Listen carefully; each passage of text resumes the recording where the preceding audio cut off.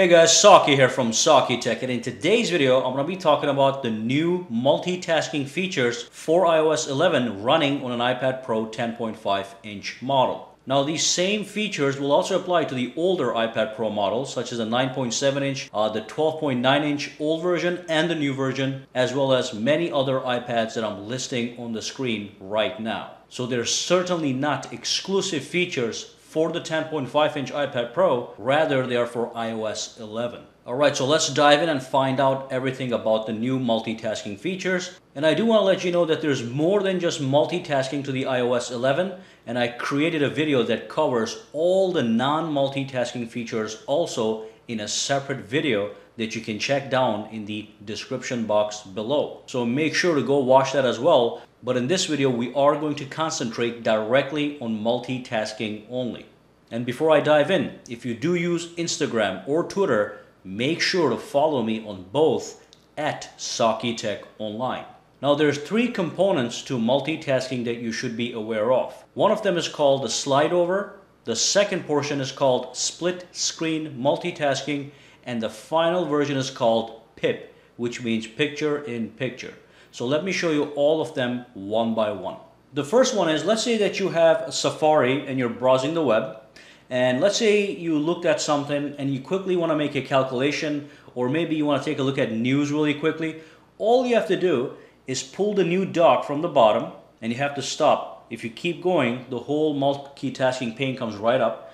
But uh, basically you just go to Safari or any other app that you're working in, pull down from the bottom, stop right here, and then choose the app that you want to use from this dock, such as the news, and just drag it and drop it right there, and it's going to justify itself towards the right. So this is called a slide over uh, multitasking. So basically the great thing about slide over is you can actually, both windows are active. So you can use this window, and if you want to read the news really quick, you can do it as well. Or perhaps you can pull up the calculator application and do a quick calculation and just send, send that window away. Other things you can do right now in the slide over mode is you can grab this guy and you can move it to this side if you so desire or you can move it to that side again and when you're done with the slide over window you simply push it to the right and it's gone. So that was slide over. Again, boom, grab the music application, just drop it right there and start playing music. When you're done with your music, you can go right here, you can play music. Both windows are active. When you're done, swipe it away just like that. So that's the quicker form of multitasking. The next form of multitasking is called split screen multitasking. So basically you do the same exact thing. You pull up a window, let's say you want to read the news, you pull that, you drop it on the screen, just like that. But this time, you put your finger on the top here and just pull it down, and that creates two split windows that you can also resize from the medium, uh, uh, from the uh, middle here. Okay, so now you can have two windows taking the same amount of real estate and you're you're working on true multitasking. Okay so again you can have any app on this side or this side doesn't have to be safari and the news. This is just for demonstration. Okay so now i'm browsing the web and as well i can read the news if i desired and of course, it doesn't end here. It's best to master these things. So again, like I said, you can resize them as such. You can make Safari smaller and News larger, or you can resize it like that. And then let's say that you quickly want to go and launch a different application, but you want to continue to um, uh, hold this setup. All you do is you press the home button, or you can just go all the way up like that, and you can switch into a different application such as the Files application and just browse and do whatever you want to do. And let's say you want to go back to the way you were working before. Like I said, if you go back up to the multitasking pane, that window, that multitasking window doesn't lose its place. And of course, you can create multiple setups just like that. So let's say I'm here, uh, I want to create one more. So let's uh, grab the music application this time, put it right there, and let's uh, create a split screen multitasking. Let's split that up really quick, okay? So again, if I go up here, now I have two split screen multitasking setups sitting right there. You don't have to get rid of them. I can come back here, uh, send a message out here, boom, and then I can go right back uh, to one of these guys. The final thing with multitasking, the split screen multitasking, is the fact that you can drag and drop between two different apps. So let me launch the photos over here. Let me bring up uh, iMessage here, right over there.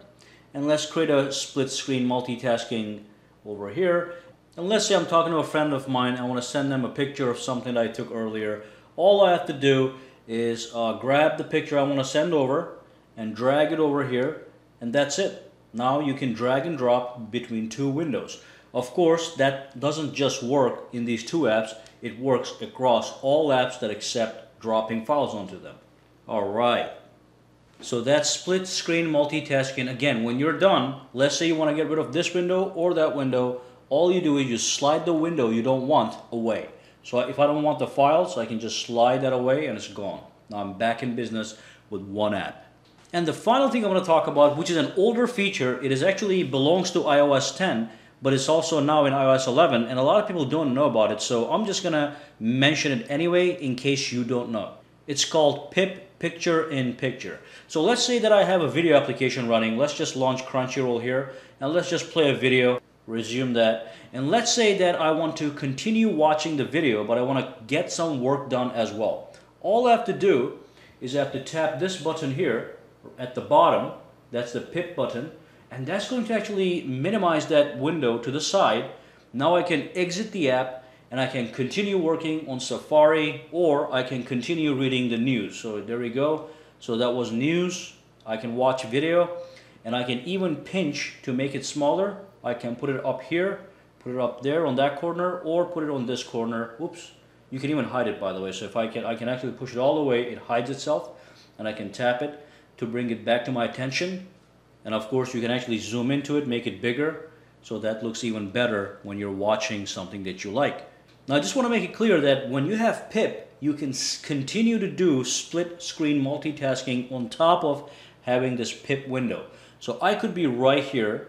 Uh, let's say I want to uh, keep browsing as well. I can bring this here. Now I have pip, I have slide over, and I have this active. Or I can, by the way, I can, if I grab this, put it here, it comes over here, then I can push this over here. Whatever you want to do, right? And let's say I want to actually switch to split screen multitasking. I just go like that. Now I'm actually doing three things.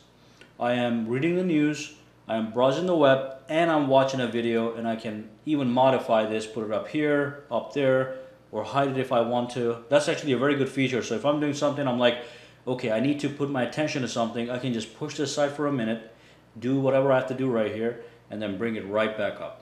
And of course, I call this the combination multitasking. And then when you're done with this guy, you can either go back to the app by tapping that button, you can pause the movie, or you can tap on X and that closes that application. And that's basically everything you need to know about multitasking on the iPad in iOS 11. Remember, you got slide over, you've got split screen multitasking, and you've got PIP, picture in picture absolutely fantastic. And of course, that brings us to the end of this video. Guys, make sure to follow me on Twitter or Instagram at Saki Tech Online if you do use any one of those mediums. And of course, subscribe to Saki Tech for more videos to come and give this video a thumbs up. And finally, if you have any questions, comments, concerns, just drop them down below in the comments section and we will take a look at it. And finally, one more thing. If you want more iOS 11 coverage, I dropped some links to other videos that go into even more detail about iOS 11 and its fantastic features. All right, have a great day.